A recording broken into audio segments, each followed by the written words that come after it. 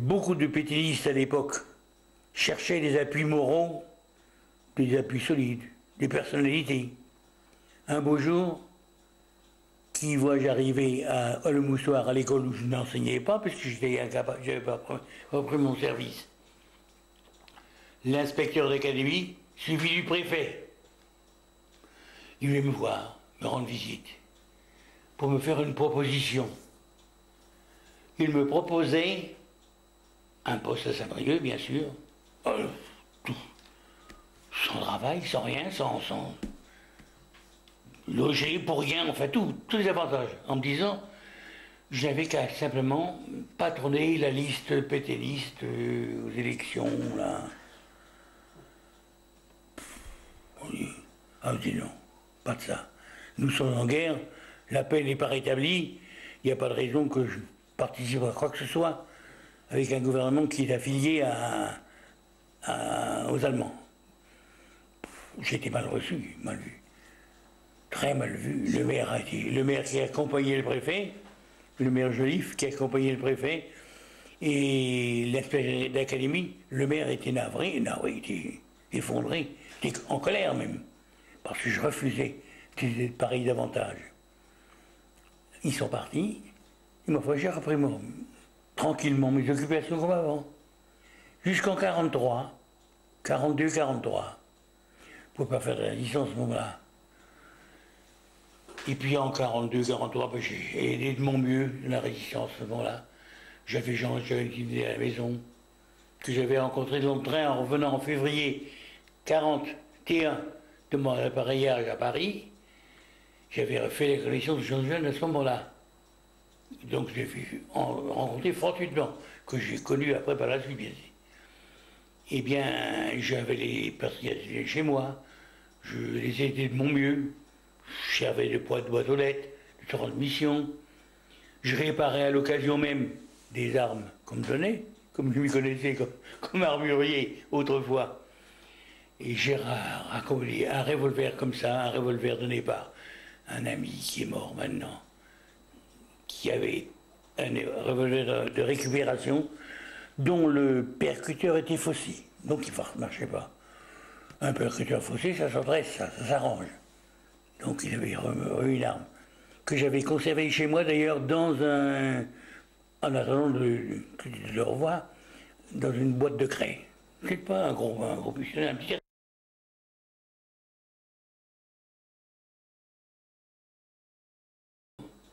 où j'ai été perquisitionné par Flambard. Ah, vous avez la visite de celui-là aussi En janvier 1943.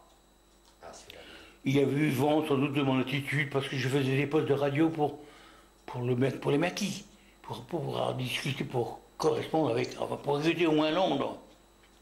Des postes sur AQ, c'est-à-dire transportables, quoi. Sans avoir besoin, avoir besoin de courant du secteur. Or, il n'y en avait pas beaucoup à l'époque il fallait les fabriquer. Donc, euh, on a dû peut-être parler de ces choses-là, si bien que moi, j'étais suspect, en tout cas. Alors, Flambard est venu me voir, j'avais repris mon service cette année-là, parce que je commençais à marcher, j'ai habité mes appareils, puis ça faisait déjà deux ans que je les avais. Et alors, j'étais en classe lorsqu'on a frappé à ma porte. Je suis allé ouvrir, j'ai demandé ouvrir, m'a demandé rentrer, personne ne bougeait. Je suis allé ouvrir, je tombe sur Flambard, je connaissais. Et sur des gendarmes, puis avec lui, deux inspecteurs en civil, un jeune et un inspecteur plus âgé.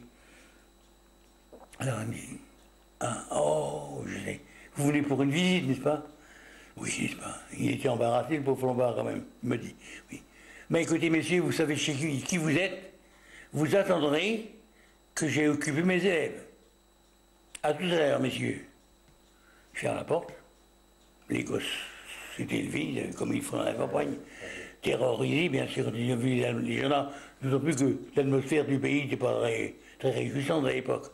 Il n'y avait pas le Prigent avec lui, le, hein fameux inspecteur Prigent, le gendarme Prigent, il n'était pas avec lui? Flambard et Prigent, c'est... Ah non, Prigent est venu après. Ah, c'est autre chose. Non, non. c'est autre chose. autre chose. Il y avait les gendarmes et avec deux inspecteurs de police en civil. Euh, Donc euh, j'ai occupé mes élèves. Et quand j'ai eu terminé, j'ai eu le temps de réfléchir en attendant, en me disant qu'est-ce que je vais faire? J'avais mon pistolet qui était dans une boîte, là, je voulais pas le retrouve. Je m'embêtais ce pistolet-là. Puis j'avais des papiers compromettants. Oh, il faut faire une combine, quoi. Alors je, suis sorti, décontracté, en disant Mais monsieur, je suis à vous. Alors, euh, par où voulez-vous commencer? À droite, à gauche, le bâtiment, c'est un bâtiment le. Et je vous signale que j'ai un grenier à droite là, qui, est un fourre-tout. Si vous voulez commencer par là, moi je vais bien. Allons-y. Je suis monté péniblement l'escalier, mais grâce à la rampe. Ils m'ont suivi, puis je ne disais rien, disait rien, flambard. Alors, ils volaient vers travers la cuisine, ils la porte du grenier, ils vont dans le grenier qui était au-dessus de ma classe. Pensant là, j'étais tranquille. Il va leur m'occuper du reste maintenant. Mais il y avait le fameux inspecteur qui, qui était libre. Il y avait un qui, fouillait et l'autre qui était près de moi. Alors, euh, finalement, on l'appelle parce qu'il ne voyait pas clair dans le, grenier. Il me demande une lampe électrique. Puis quoi encore, je dit Vous voulez quoi encore? Vous croyez que j'ai tout à votre service comme ça? Finalement, je leur donne une lampe que j'avais bricolée moi-même. C'est une boîte en bois, avec une pile dedans et une ampoule. Il n'y avait qu'un interrupteur très simple, un, truc contourné. Il y a mon jeune inspecteur qui part avec. Et aussitôt, je lui croyais tranquille, je vais me diriger vers mes papiers pour les enlever d'abord. Mais il revient, le jeune. Mais comment que ça marche là? Ah ben, en vous alors, il faut tout vous expliquer. Il est revenu. Vous voyez pas comment ça marche? Et puis j'avise qu'il avait sur son épaule un bas de soie. Euh, qu'il avait trouvé sur un fichoir le grenier, qui était resté accroché à son épaule. Il dit Qu'est-ce que vous venez faire ici? Vous venez pour inspecter ou bien pour voler? Vous emportez les, les, les bâtons de ma femme, vous Je sais bien qu'on n'en trouve pas beaucoup maintenant, mais quand même, c'est pas un moment, hein Allez, reporter ça. Le type est parti. Merde. Est drôlement embêté. Après, je l'ai plus vu, là. Hein. Non, non, il s'est camouflé, enfin, il s'est arrangé. Bon, finalement, on a réussi à, arranger les choses. La bonne, la petite bonne qui était chez nous, a profité que j'étais là. Je lui ai dit d'enlever tous les papiers qu'il y avait sous le poste, des papiers, de, papiers pelures, des papiers compromettants, des journaux, il y avait tout. Et alors, pour le pistolet, il me dit non, il n'a pas, eu le temps de la prévenir. Il ne l'aura pas trouvé d'ailleurs. Hein? Ils reviennent. Ils m'ont demandé Qu'est-ce que vous avez dans une caisse là-bas, dans le Oh ben, vous pouvez regarder, hein. Oh, soyez tranquille, c'est pas des, pas des explosifs, hein. C'est, simplement de la vaisselle.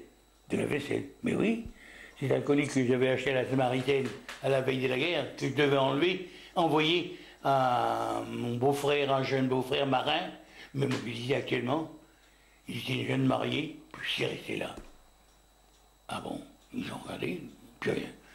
Alors, et tout d'un coup, il y a Van qui me dit eh, mais il paraît que vous avez des cabinets à l'étage, là, deux cabinets. Peu de gens savaient ça, qu'il y avait à l'étage des cabinets qui ne servaient pas d'ailleurs, faute du seau d'eau. Il n'y avait pas d'installation d'eau. Donc les, les, cabinets étaient là, bien sûr, mais ils ne servaient pas. Ah, tiens, tiens, tiens, il veut la renseigner. Oui, oui, en effet. Il y en a un que j'ai transformé en garde-manger parce qu'on euh, ne s'en sert pas. Tout est fermé, c'est propre. Au moins, la, porte, la fenêtre est ouverte. Le garde-manger, à l'époque, on avait des garde-manger en grillage. Oui, je me rappelle, Bon. Et, l'autre, ben, l'autre, c'est un dépouge, mes, mes, journaux, mes, revues, des trucs comme ça. Bon, on peut les voir. Oui, oui, vous pouvez les voir. Mais pourvu qu'ils ne viennent pas tout fouiller la boîte. Euh, la boîte sur le pistolet. Et j'ai fait peur aussi parce que dans mes revues de journaux, j'avais été abonné à ce moment-là au haut-parleur. Une revue qui apparaît toujours, mais une revue de, radio. Quoi. Ah oui, d'accord. Alors, à l'époque, on ne parlait pas de télévision, mais on parlait de radio. radio oui, oui. Alors, on il fouille d'abord, l'inspecteur tout le plus âgé, il fouille dans le cabinet où se trouvait qui servait de garde-manger. Naturellement, il n'y avait rien. il arrive dans le deuxième, de la porte. Il dit, ben oui, j'étais derrière lui, je dis, oui, ça c'est pas qu'ils sont Ne les défaites pas, surtout ne l'arrangez pas. Hein. Ils ont, toutes ces revues sont rangées par ordre. Alors je ne sais pas, faudrait à passer après vous pour remettre de l'ordre dedans. Bon, il commence à trouver un, peu mauvais. Et il tombe en arrêt. Il dit, qu'est-ce que c'est ça? Il dit, mais inspecteur, vous ne connaissez pas ça? Vous ne connaissez rien alors? Qu'est-ce que c'est? Vous ne reconnaissez pas? C'est un chargeur d'accumulateur, ça. Un chargeur. Mais oui, vous voyez pas Une lampe là, spéciale, une lampe euh, métallisée là. Ah, attendez, je vais vous prendre l'appareil. Ah, n'ayez pas peur, hein, c'est pas une bombe. Je recule instinctivement en disant. Bon, alors il est complètement démonté. Il a soulevé deux ou trois journaux. Regardez, il y a un touriste, bien camouflé en bas. Et il n'a même pas vu la boîte de, de, crème vide. Je lui ai dit, euh, écoutez, si vous pensez que vous trouvez des choses dangereuses ici, vous vous trompez lourdement. perdez votre temps, vous savez. Vous perdez votre temps. Je suis pas si bête que ça. Voilà. Bon. Ils partent bredouille. En partant, j'ai dit au lieutenant Flambard, vous êtes venu là pour faire votre service, service certainement.